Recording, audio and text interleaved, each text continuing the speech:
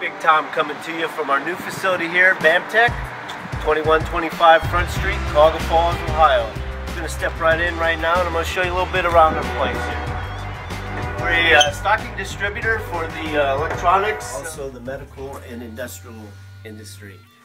And here, here we have our new facility here. We have uh, one of our employees, Jeff uh, Habishaw. Okay, that's enough, Jeff. We're going to walk over here now and uh, take a look at some of our uh, product lines we carry. We uh, carry uh, about 25 different lines and uh, we're also stocking and we also uh, go out and visit our customers so we can uh, get a feel for our customers' needs and also help them with any problem solving that they need us to help them with. Uh, one of our product lines is AIM solder, which is your soldering wires, your bar solder, and also your fluxes and your chemistry for cleaning.